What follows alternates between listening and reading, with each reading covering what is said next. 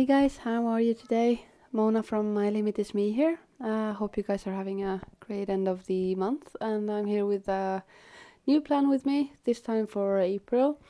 Uh, the first thing you're seeing here is the flip through of my Filofax notebook because I decided it was as full as I wanted to be, and uh, three months have to be my new record of uh, months in a bad way in a in a notebook. So um, that's the only drawback of that notebook because I love the pages. I love the versatility of being able to move pages around, but three months is a little bit too little. Um, these were the stickers I intend to use, and uh, this is uh, what I'm starting up now. And it's a Stalogy 365 A5 size. Um, and as you can see, I already put in the uh, year at a glance, the future log. Uh, I've left a couple of pages blank to put in something else, and my Happy Mail tracker. That's uh, my basics for a bullet journal uh, when I start up. I know there's a lot of other spreads you can put in that uh, a lot of people do, but my experience is I end up not using them, so I skip them. Uh, this was my pen test, and as you can see, the pages are really thin, uh, which means uh, they are gonna ghost a whole lot. Uh, but they didn't bleed, except for a few markers that I expected uh, some bleed through. So uh, I was pretty happy with that. Um, I've had notebooks in the past with similar um, kinds of see-through, and I, it doesn't bother me. Um, but what I did experience, and you'll see that later on, is um, uh, the grid on this notebook is so soft, which is a thing I really, really like. Um, but it's so soft that if I don't mark every corner when I have to draw the layout, I actually end up drawing the lines uh, from the wrong, uh, or from the right place to the wrong place. so my weekly, when we come to that, you'll see that a couple of columns are actually um, crossed. They're not a straight straight line down because I I cross a whole grid without noticing. Uh, normally I draw out uh, only the main corners and uh, then if I can see the amount of space I, I want to draw down, uh, I'll just leave the mark on top, if that makes any sense. But next time I'll have to do it differently because it didn't work out that well. Uh, here you can see I actually I had drawn out the calendar uh, in advance, but I missed the part, so I had to do that before going in with the drawing. And as I did in my other notebook, I'm still going to use the same uh, kind of uh, calendar for the month. Uh, and as you probably saw by the stickers and the color palette I chose um, for this month, it, normally I April for me is yellow and it's rainy. That's the theme I've been going for um, earlier years, uh, but not this time. Uh, I there's yellow in it, of course, and it's uh, Easter and all that. But I I found this this sticker kit with um, butterflies and uh, flowers with pastel colors that was very very bright and lively. I I really liked it, so I kept I'll be right back. And we are back. Sorry about that. A little bit of uh, children drama in the living room. And uh, yeah, so I chose this color palette because, uh, well, in the situation we have today, we do spend a lot of time home and uh, life can get a little bit stale or I don't want to say boring because that's not fair, but you know, uh, it's not like you can go out and do whatever you want right now. So uh, having a journal with uh, some good vibes is uh, is nice. Uh, so that was what I thought, and it really gives it a a spring kind of um, feeling, and um, yeah, I really enjoy it. You'll see it.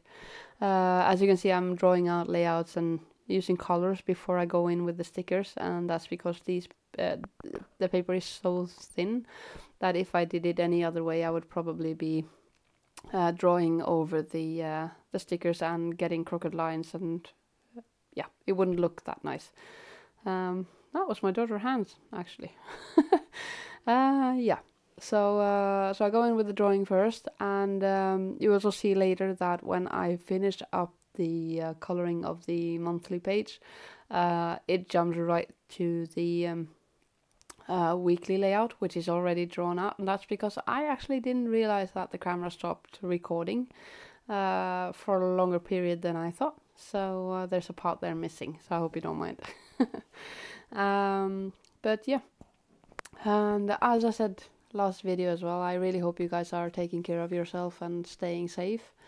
Uh, things are pretty messed up uh, a lot of places, so um, I hope you guys are are well and um, yeah.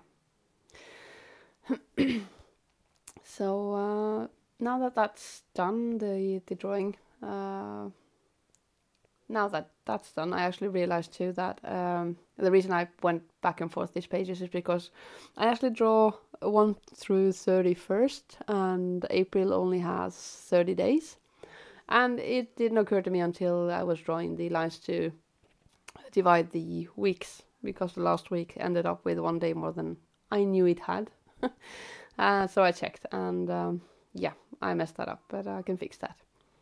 So here I go in with the colors that I chose and um, I really like how it turns out looking pretty bright.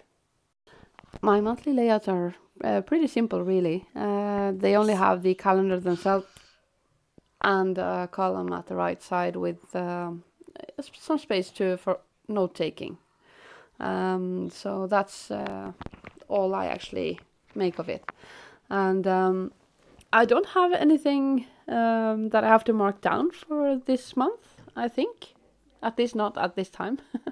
uh, besides Easter, of course, and uh, my good luck making me work uh, on uh, the 11th. Yay me.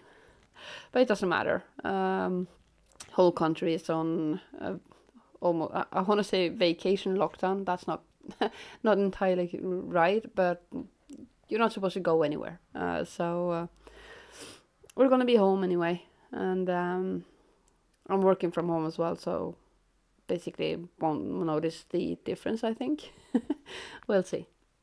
Um, so yeah, uh, this is uh, how the calendar ends up looking, and uh, now you'll see we jump over to the weekly layout, and um, here you can see very clearly that there are some not so straight lines.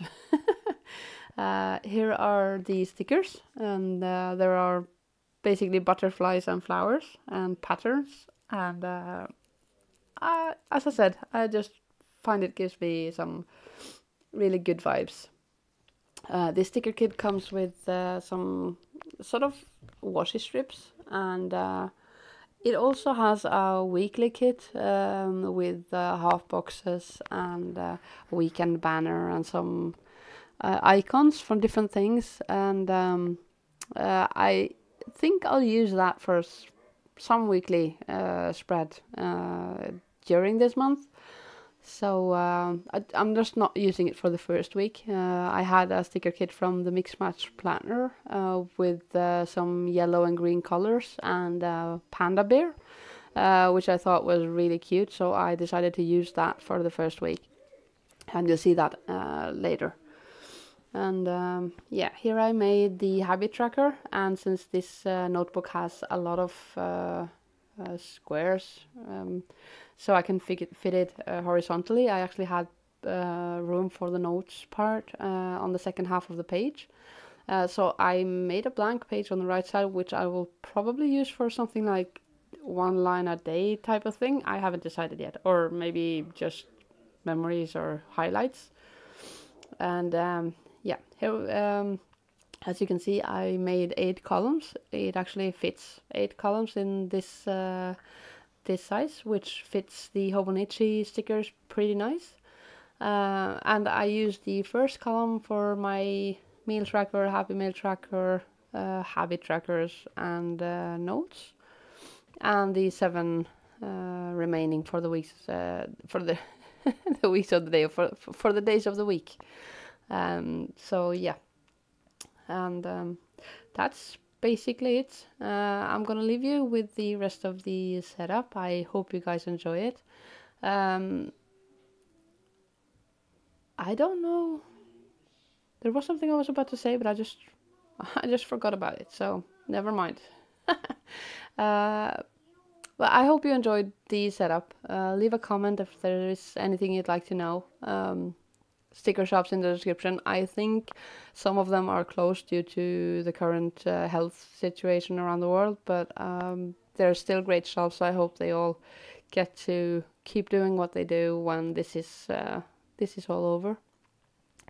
Um, like the video if you liked it, dislike it if you didn't, and uh, consider subscribing if you want to.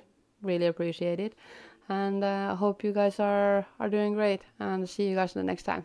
Bye bye.